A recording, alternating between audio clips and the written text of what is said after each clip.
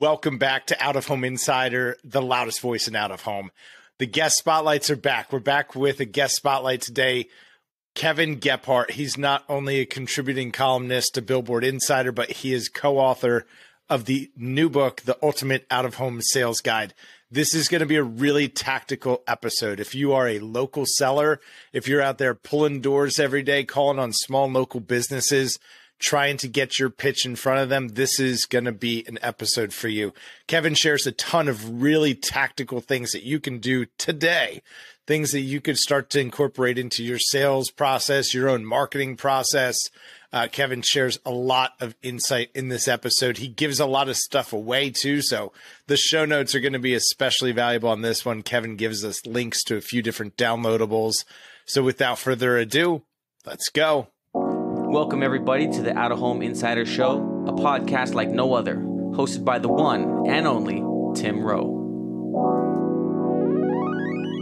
Get ready to have some knowledge dropped on you and to be entertained because nothing's more valuable than food for your brain. So sit back, relax, we're about to dive in as the best industry podcast is about to begin. Kevin, thanks so much for being here. Tim, I've been looking forward to this. You and I have been in so many discussions over the last six months about this. I'm glad we finally brought it together. Thank Absolutely. You. We're going to talk about a lot of things here. We're going to touch on, you've got a new book out. So, really excited to talk about that. We're going to talk about some of the challenges of being in media sales and, and navigating uh, tricky economic uh, waters, something that that you're uh, well versed at and a veteran of uh, throughout your career. You've seen a a few of these types of occasions. So we're going to get into some of that. But Kevin, really, I think maybe a, a, great place to start is is kind of the origin story. With how did you get into out of home? Started on the air as an air talent, then got into business. Uh, and the business side got into sales at a radio station. Decided that I liked the business side better. Got into sales, management, general management. And then later, I decided I didn't like management. I really, what I liked, what turns me on is meeting with clients and doing programs and putting stuff together, creating on the street. So I went to Clear Channel Radio uh, as a senior account exec, was there for eight years, and then was really intrigued by the billboard business. A good friend of mine who I'd cross sold a lot of programs with said, Hey, why don't you come and talk to us? You, you'd be a great billboard seller. And I never thought of it. I came home and talked to my wife, Deb. I said, You know, this is really, the more I think about it, it's a really cool idea. So I uh, signed on at the Billboard division 12 years ago and ended my active selling with Clear Channel uh, at the end of 2020, so December of 2020. And then they did a really cool thing. They put me up on 64 digital billboards in Minneapolis and St. Paul, congratulating me on my retirement. How cool. Tim, I'm like, if I had maintained my status as an air talent, I would have never gotten that I left the company. right. It was unbelievable. So anyway, caught Dave Westberg's eye at Billboard Insider, and he said, "Hey, you've sold radio, you sold billboards. Let's do a piece on what the difference of the selling is." And so we did. It led to several columns. Dave's always had a lot of uh, interest among his readers in terms of having more sales material. He said, "I think there's a book here. Let's let's do a book." So we wrote a book. Uh, started about a year and a half ago put it all together. It just hit the street here about three weeks ago. It's called the Ultimate Out of Home Sales Guide, a competitive advantage to selling out of home. And I guess the best way to sum it up, Tim, is so often when I see people in the business and I say, What do you know now that you wish you would have known then? Because I was taught that experience is a great teacher. It's just the tuition is so high. You don't want to do it. Sure. So I put together in this book 38 chapters of things I wish I would have known when I started selling. And I didn't realize, Tim, when I when I quit actively selling, that I did have this enormous background of ideas and strategies that I use all the time that people that haven't been around that long don't have. Sure. I always believed that when you work for a company, you get two paychecks. You get your money, but you also get training and insights that are going to pay you dividends long past when the money's spent.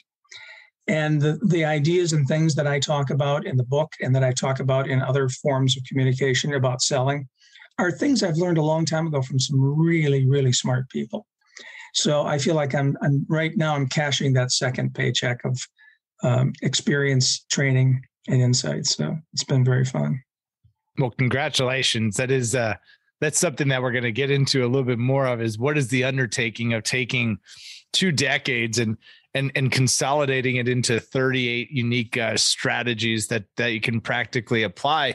But was that always your mindset? Did you always think about work through that lens of of delivering it to, of two paychecks or was that something that developed no, it, over it time occurred for to you? me it occurred to me uh, actually the last few years of my active selling career because I, I started talking, and the reason the, the, branch I worked for for Clear Channel Outdoor, we had a, a, a process whereby we would do presentations um, periodically. And so when it was my turn to do a presentation, I did a presentation on, I think it was, oh, it was, uh, a process for creating ideas, which hmm. is a really cool teaching. If you ever want to jump on a podcast, we can talk about that. Sure. The, but I that, realized creating the catalyst is one of the hardest things to do. The spark. Right. Right.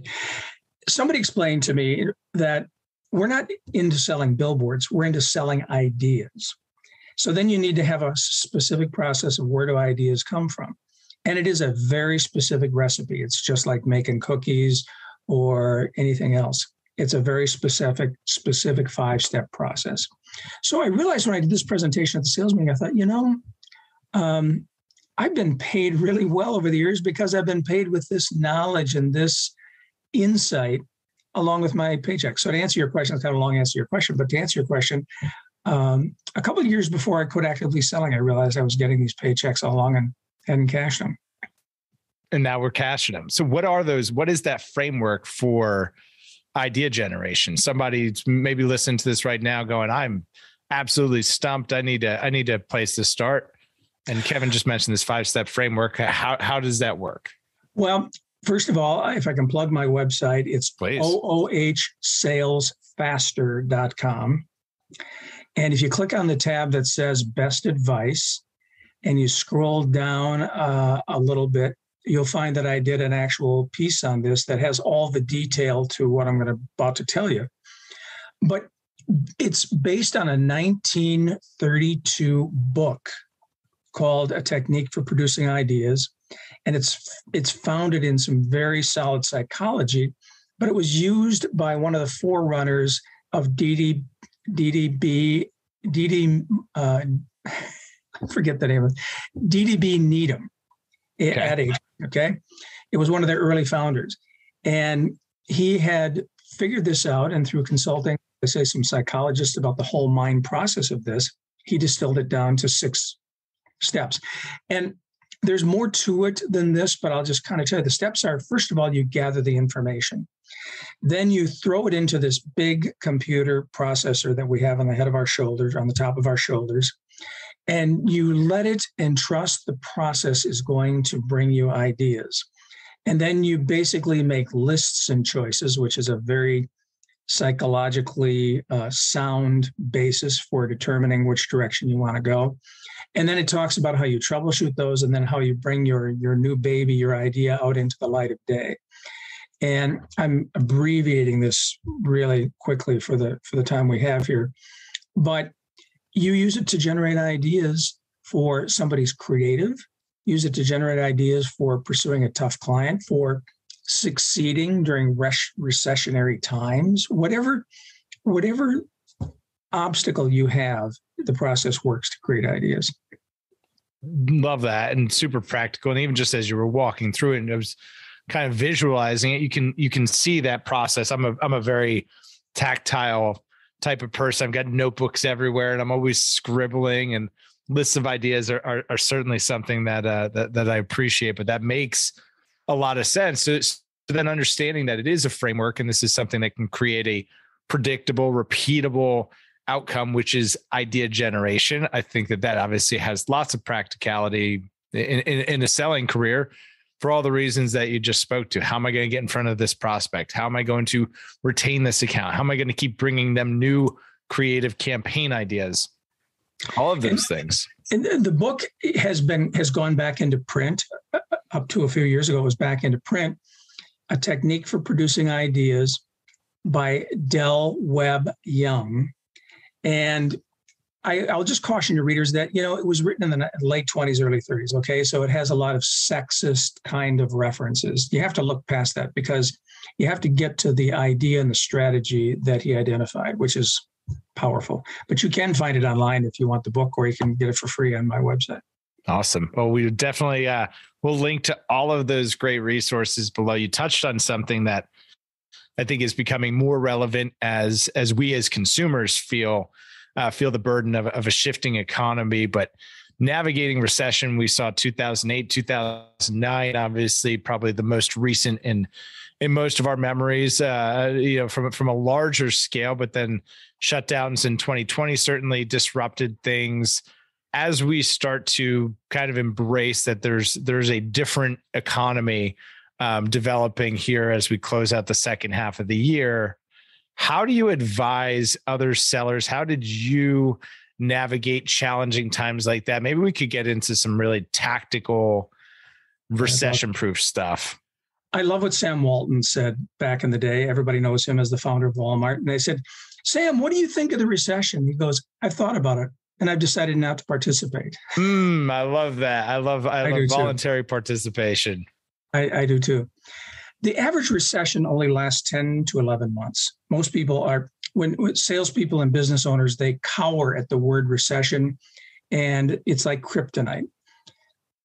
What if your competitors were all put under a spell?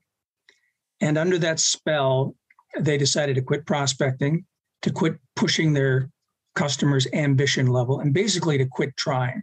What kind of a competitive advantage would that give you as a sales rep? Enormous, right? Everybody's lulled to sleep. That's what the recession does to us. And it we're put under the spell by media that is constantly beating the drum of things not going well in the business community. I believe in the yin yang theory. Your strength is your weakness, your weakness is your strength. It, it sounds like it sounds like wordplay gobbledygook, but it's very powerful. Every for every business that's suffering during the recession, there is one that is thriving. It's just a fact of life. The news media has no incentive to provide you with who those people are. Coincidentally, I've compiled a list of like over 47 different local ad categories that wow. do well in a recession. And I will make that available to anybody listening, Tim, if they want to drop me a message at my website, oohsalesfaster.com, and request the 46, 47 recession thriving categories, just reference it, and I'll send them the whole list. But these are local businesses that do well during a recession. So you have to look at it for what it is. And there's enormous opportunity in here with a lot of companies that we may or may not think of or know of. And I have a ton of information about companies that have pulled back their advertising during recessionary times, starting in back in the 20s up to and including the, you know, the, the last recession, 08, 09. It's, I have volumes of information about companies that have thrived during the recession and long after because they didn't pull in their horns. They actually went out while their while their competitors, their advertising competitors, were asleep and under the spell, and they grabbed market share that that the competitors never did get back.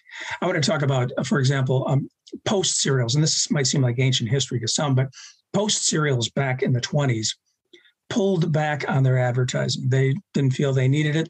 Most people don't know the Post brand, but back in the 20s and 30s, it was the household cereal brand. Okay? So this is like Great Depression kind of induced. Right, exactly. We're just late 20s, early 30s. Okay. Yeah. And all of a sudden, in Michigan, Dr. Kellogg decided that he was going to take them on because they're they're falling under the recession spell. So he launched a little product called Rice Krispies. Mm. And he gained market share from Post that they've to this date, 80 some years later, have not recovered from. Wow. It's it's astounding. Coca-Cola was a worldwide brand back in the late 50s they had just come through World War II. They they used World War II as a way to build their international distribution model.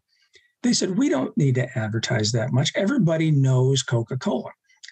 Unbeknownst to their competitor in upstate New York and Purchase New York. There was a little company trying to make waves called Pepsi.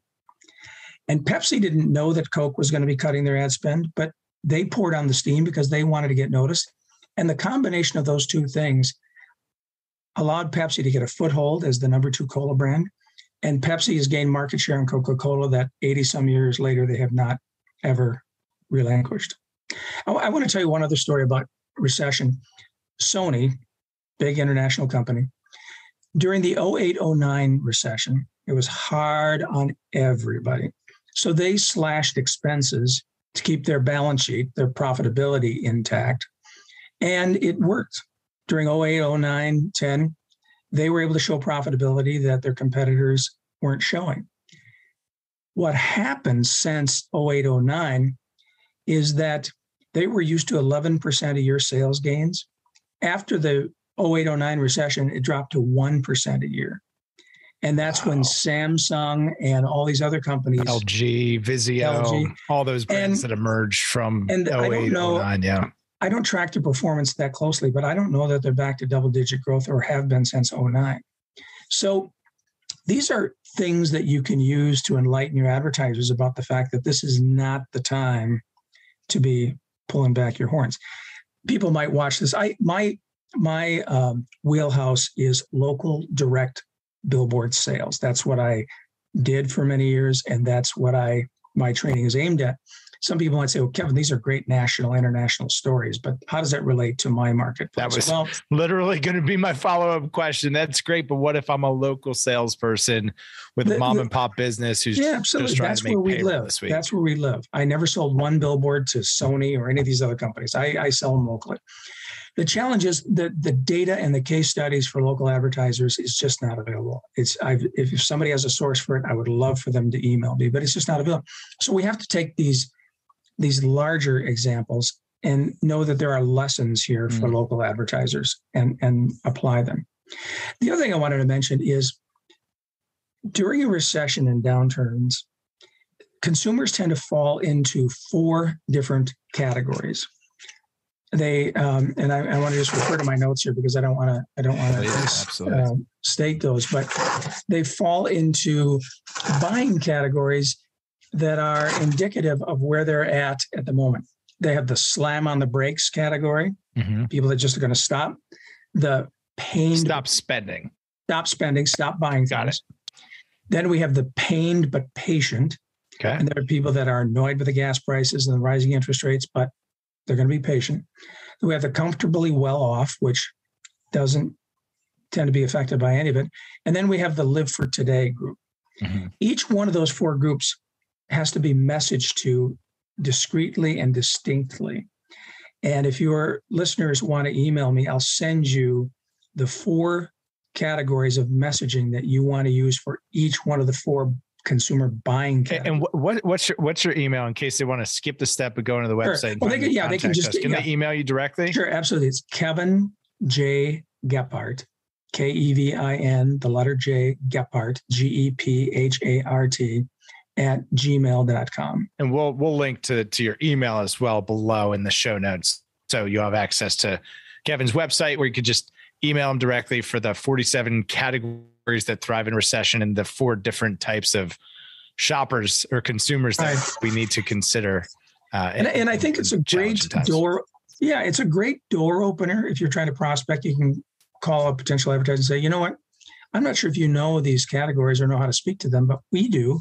And I'd like to come out and have a, a discussion and see if we're a fit for you. It becomes a great door opener. And then once you land the business, of course, it's incumbent on you to be sure that you're adhering to those guidelines so that you speak to the right category in the way that they want to be spoken to. Kevin, I'm going to ask maybe the sales question of all time, just because you made me think of it, and it's a little bit of a little bit of a, a parallel path to some of this conversation. But is there any repl- in local sales? Is there any replacement for just beating the pavement and pulling doors? Is there any better way that to to get in front of decision makers and create action. I know, I know we've, you know, people, people, you know, pitch the course of never prospect again and, and, and these things. Is there any replacement for that stuff? Here's what I will say. I, I think you just said programmatic without saying programmatic. Mm-hmm. Sales reps, I know when I worked in bigger companies, sales reps were running in fear of programmatic. Our company is going to do programmatic. It's going to run us out of business.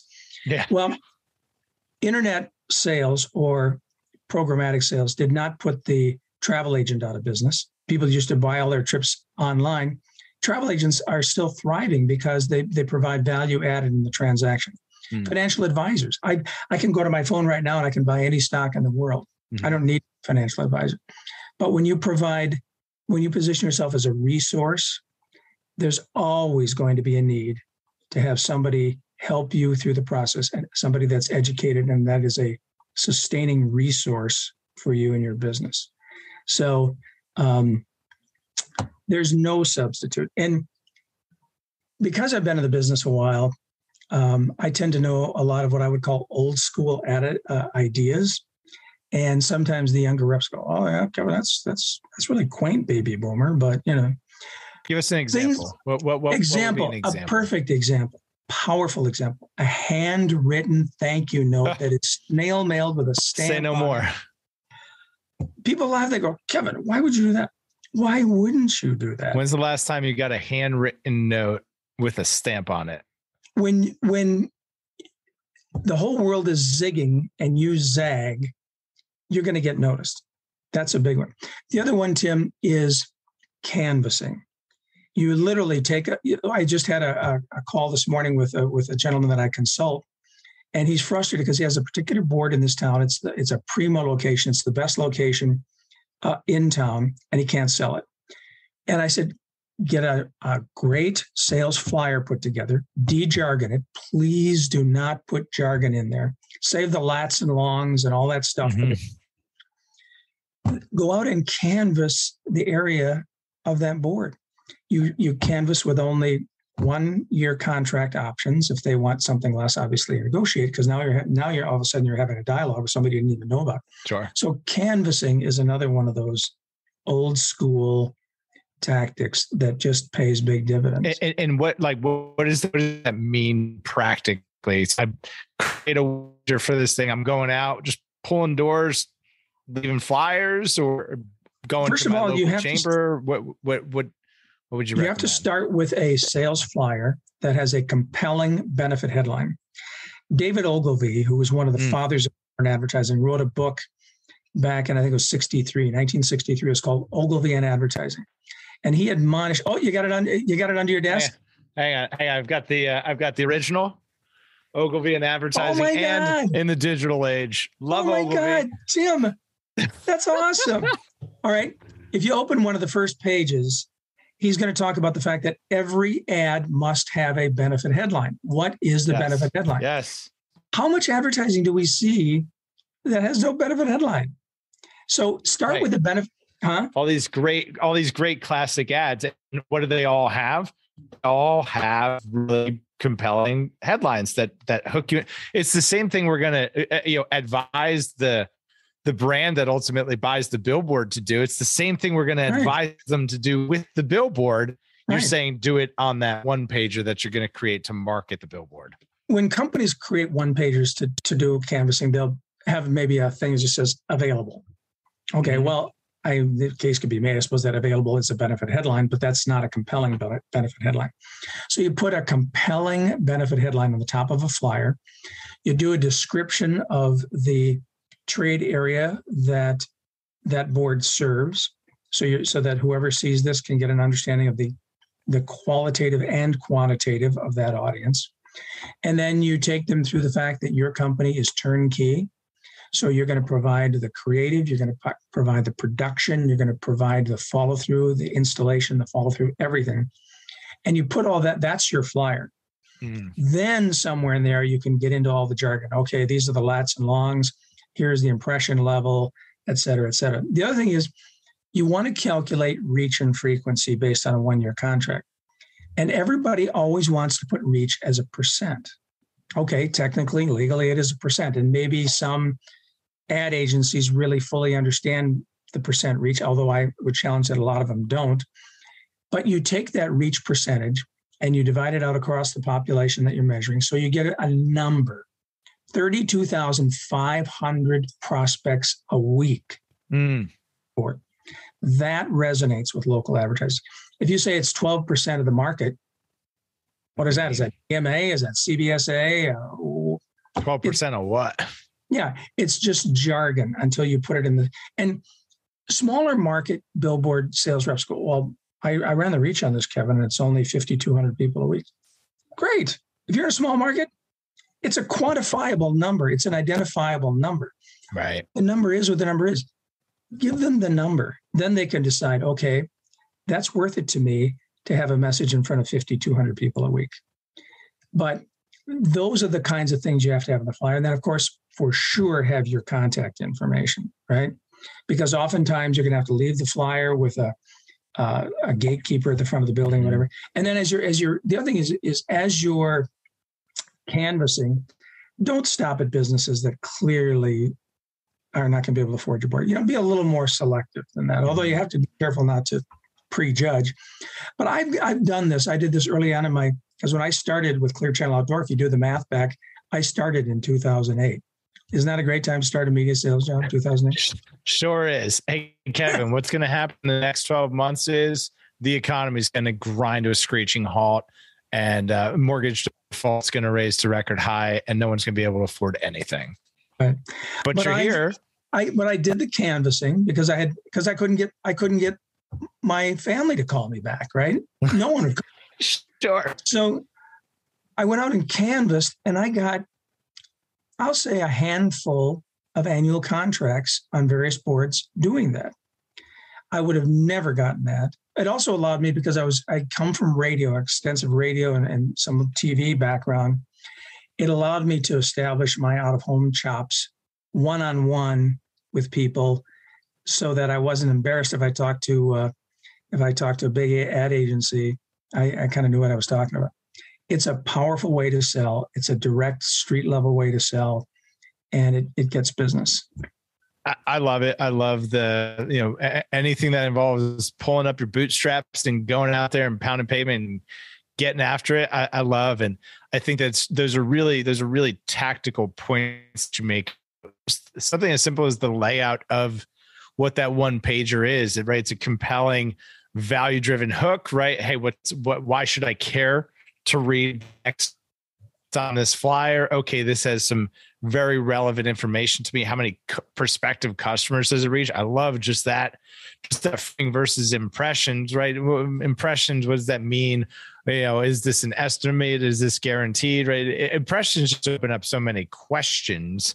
Right. um, you, you want to have the number of impressions on there. And, You can figure out some some basic Right. math.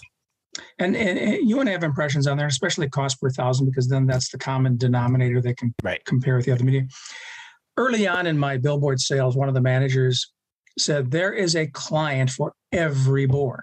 Because week after week, we're sitting in sales meetings staring at these same set of boards that go unsold. And we had a discussion one time, and somebody brought up the fact that in one of the older parts of St. Paul, we had a billboard that never got sold. And somebody said, Well, who'd want that? Because that's that's a bunch of old people that live around there. And I'm like, okay, if you're Coca-Cola, you don't want that board. If you're Subway, you don't want that board. But if you're Thrivent Financial, if you're RBC Wealth Management, if you're uh, a travel agent, you do want that board. It goes back to the yin and yang. For every billboard, there is a strength, but it's also weakness and vice versa. So there is a client for every board, and you have to figure out who that client is and who would make use of that audience.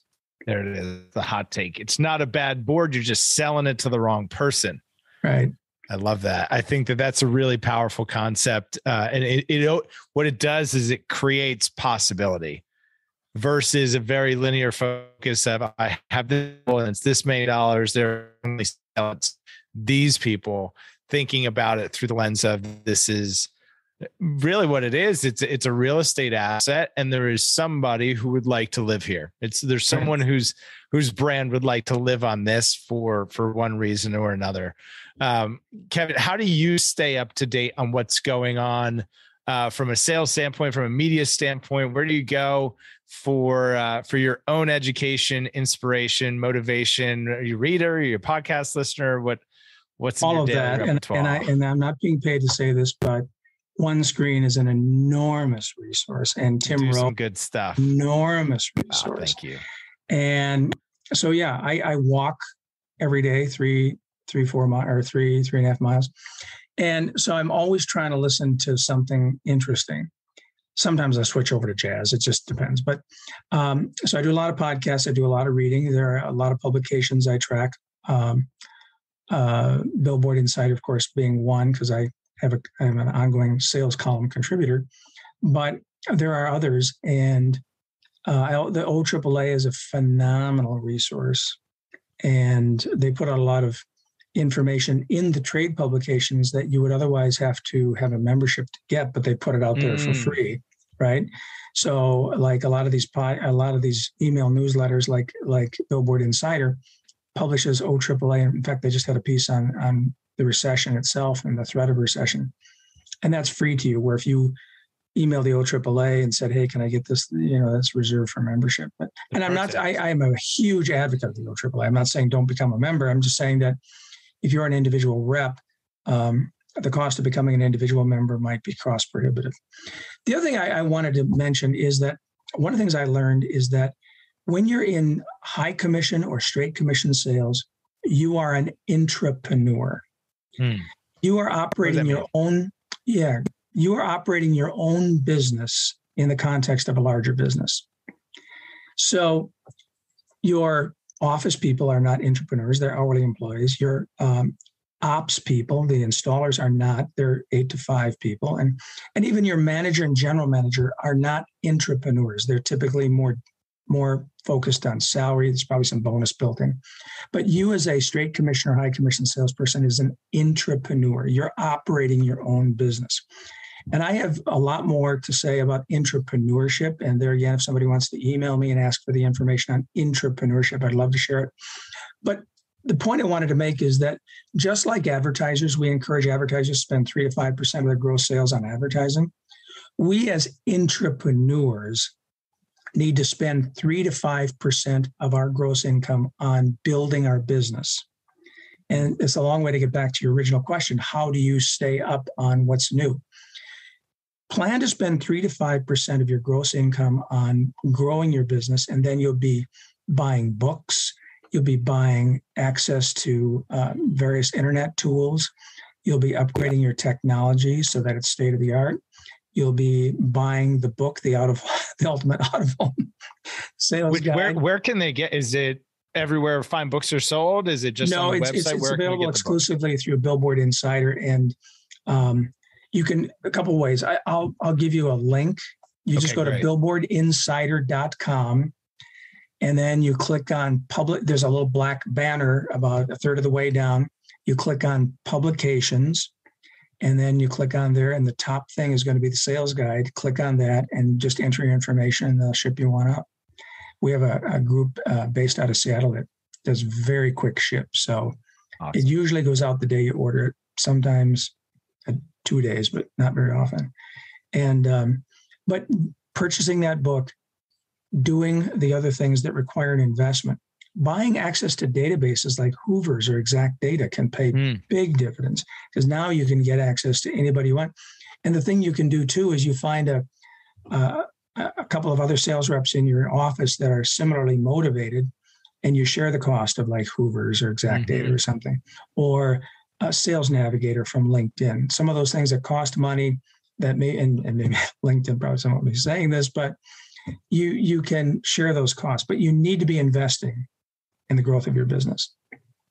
I couldn't think of a better way to to to bring it back home to the station, Kevin. Do uh, would would you like to make a bold prediction? Any bold predictions for out of home over the next twelve to eighteen months? Uh, anything you want to be on the record as having said here first? Well, let me put my answer into context. The digital roadside billboard is as old now as commercial television was in 1972. Wow. Okay. So television evolved a little bit since 1972. Sure. Sure has. I'm telling you, we are on the cusp of explosive growth when it comes to digital home. And I talk some in, in, in the book and then more on my website about what is lying ahead. What's lying ahead is digital billboards are high reach, a lot of high reach mediums, television, et cetera, but it's also real time. Now, there are a lot of real time mediums, there's social media and, and various others, but we may be the only high reach real time medium available at scale in the entire country. Mm. And it's going to explode. We're never, I, I hope, Tim, this is a hope, not a prediction, that we quit putting static images on digital and that we speak to the audience that's standing there at the moment they are standing there. Sure. If we have a, a Monday message, a Tuesday message, uh, a Monday early morning message, a Tuesday late afternoon message, people's minds are in different places throughout the day and throughout the week. And we need, as advertisers, we need to capture the moment and market real time. I think that's the explosive growth. I think companies are starting to get it. And companies, advertisers I've talked to, they said, Kevin, I don't want to have to create all those different ads and and traffic all that. It's it's it's it's a pain. And I would say, yes, succeeding is a pain. And you're going to go to all the investment of buying digital billboards, spend another 10% and have the messaging relevant and timely.